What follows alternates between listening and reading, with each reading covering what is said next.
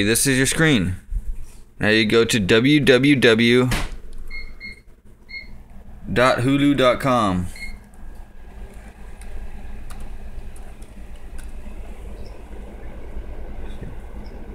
Hit enter.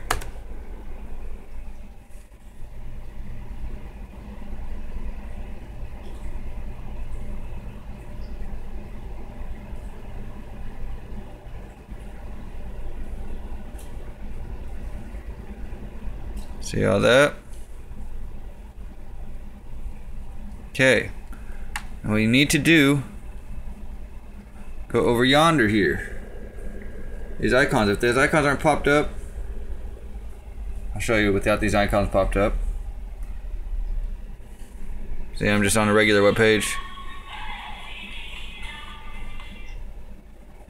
Down here at the bottom, right click, the very bottom of the screen so they pop up.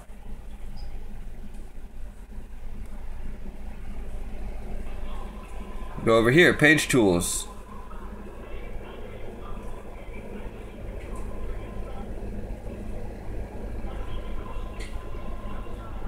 Click on it.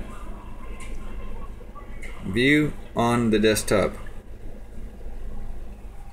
And it will take you to this cheap version of the Internet Explorer, which is what Windows 8 has Flash Player installed into. That's what you will need.